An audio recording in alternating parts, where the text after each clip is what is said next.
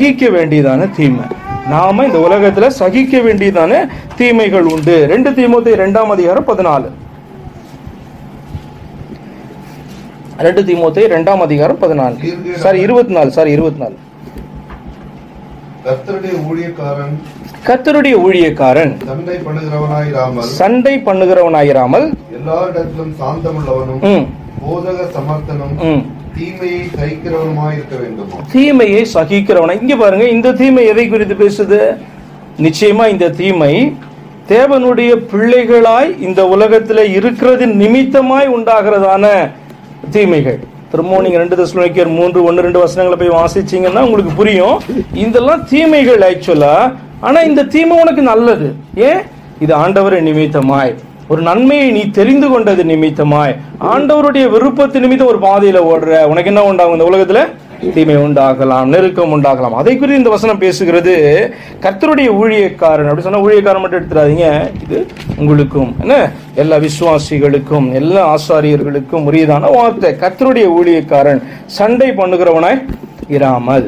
சண்டை பண்றது நமக்கு வந்து ரொம்ப ரொம்ப நார்மல் எல்லாரிடத்திலும் சாந்த உள்ளவனும் அமைதியான சுவாபம் உள்ளவனாக ஏன் சாந்த குணம் அப்படின்றத வார்த்தை அங்க பேசப்படுதுன்னா போதக சமர்த்தனாய் இருக்கணும் அப்படின்னு சொல்லிட்டு கமா போட்டு அந்த வார்த்தை போகுது. போதக சமர்த்தனாய் இருக்க வேண்டும் தீமையை சகிக்கிறவனாய் இருக்க வேண்டும்.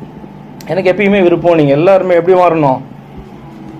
போதக சமர்த்தர்களாய். போதக சமர்த்தர்கள்னா என்ன அர்த்தம்?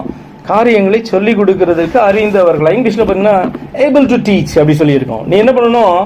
கதருடைய வார்த்தையை சொல்லி கொடுக்கறது. அதாவது டீச் பண்றவனாய் காணப்படும். டீச் பண்ணும்போது என்ன வரும்? பல கேள்விகள் எழும்பும்ல. அந்த கேள்விகள்லாம் நீங்க பதில் சொல்லணும் உங்களுக்கு என்ன வேணும்? கத்தர் கொடுக்குற ஞானம் வாக்கு மாத்திரம் கிடையாது. ஒரு பொறுமையும் வேணும்.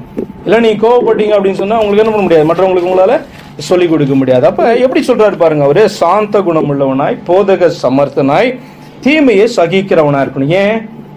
நீ சத்தியத்தை பேசினா உனக்கு விரோதமா என்ன பண்ணுவாங்க? எழும்புவாங்க பரிகசிப்பாங்க. அவர்கள் சொல்றதுதான் உண்மைன்னு சொல்லுவாங்க. பல காரியங்கள் உங்களுக்கு உண்டாகும். இதுக்கெல்லாம் வந்து பாத்தீங்கன்னா நமக்கு யார் தான் எக்ஸாம்பிள் இயேசு தான் ஹலலுயா இயேசுகிட்ட இருந்து நீங்க கற்றுக்கொள்ள வேண்டிய காரியங்கள் அப்படின்னு நான் சொல்லுவேன்னா இயேசுவை குறித்து கற்றுக்கொள்ளுகிற காரியங்கள் வேற. இயேசுகிட்ட இருந்து கற்றுக்கொள்ளுகிற காரியம்னா எப்படி தெரியுமா? இயேசு ஊழியனா எப்படி செயல்பட்டார்?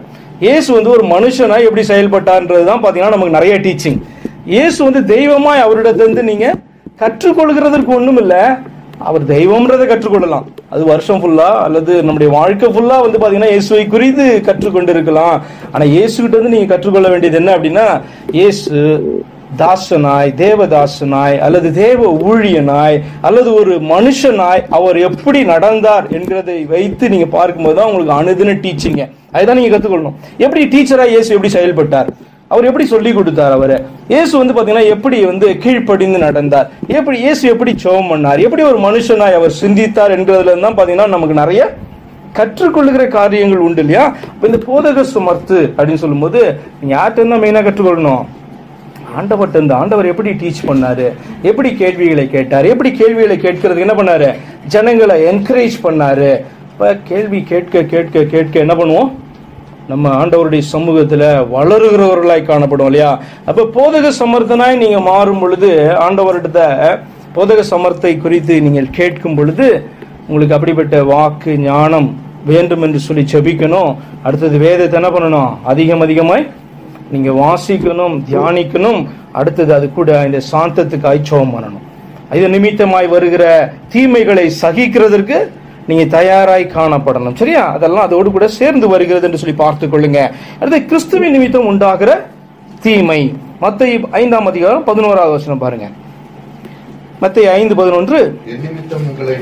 இயேசு சொல்றார் என் நிமித்தம் உங்களை நிந்தித்து துன்பப்படுத்தி பலவித தீமையான மொழிகளையும் உங்கள் பேரில் பொய்யாய் சொல்வார்களால் பலவித தீமையான மொழிகளை உங்கள் பேரில் பொய்யாய் சொல்வார்களானால் வாக்கியவான்களாய் இருப்பீர்கள் இப்ப பாருங்க இது தீமையா இல்லையா அப்படின்னு சொன்னீங்கன்னா நிச்சயமா தீமை. என்ன அப்படின்னா தீமையான மொழிகளை உங்கள் பேரில் என்ன பண்றாங்க? சொல்லும் பொழுது நீங்கள் பாக்கியவான்கள் அப்படின்னு சொல்றாரு. தீமையான மொழிகளை சொல்றாங்க அப்படின்னு சொன்னா இன்னொன்னு சேர்க்கிறாரு உங்கள் பேரில் பொய்யாய் சொல்வார்களாம் உண்மையா சொன்னாங்கன்னா பாக்கியவான் கிடையாது. உங்க பேர்ல தீமையான மொழிகளை உண்மையாய் சொன்னாங்கன்னா நீங்க பாக்கியவான்கள் அல்ல. ஆனால் தீமையான மொழிகளை பொய்யாய் சொல்லுவார்கள் அப்படின்னு சொன்னா நீங்க பாக்கியவான்கள். யார் நிமித்தமாய்? கிறிஸ்துவின் நிமித்தமாய் என்று சொல்லி ஆண்டவர் சொல்ல இது தீமையா அப்படின்னு கேட்டால் ஆமா. உங்களை ஒருத்தன் கேவலப்படுத்துறது தீமை கிடையாதா? உங்களை ஒருத்தன் ஹியூமிலியேட் பண்றது தீமை கிடையாதா? நீங்க உண்மையா இருந்தாலும் உங்களை பொய்யன்னு ஒருத்தர் சொல்றது வந்து தீமை கிடையாதா? தீமையான மொழிகள் அப்படிதானே? அப்படி சொல்லுவார்கள் என்று சொன்னால் இயேசு சொல்றாரு நீங்கள் பாக்கியவான்கள். இதெல்லாம் வந்து பாத்தீங்கன்னா கிறிஸ்துவின் நிமித்தம் உண்டாக்குறதான தீமைகளாய் அது காணப்படுது. ஏன்? இது நீங்க அவசியம் புரிந்து கொள்ளணும். என்ன அப்படி சொன்னா தீமையிலிருந்து விலக்குவார்னா இந்த தீமையிலிருந்து விலக்குவார் என்று சொல்லி அர்த்தம் இல்ல இதெல்லாம் வந்து பாத்தீங்க அப்படின்னு சொன்னா நம்ம என்டியூர் பண்றதுக்கு ஆண்டவர் பலத்தை தருவார். எது? சகிக்க வேண்டிய தீமைகளை என்டியூர் பண்றதுக்கு. ஆனால் விளக்க வேண்டிய தீமைகள் வந்து காணப்படுது. அதற்காக என்ன பண்ணணும்? ஜபம் பண்ணணும்.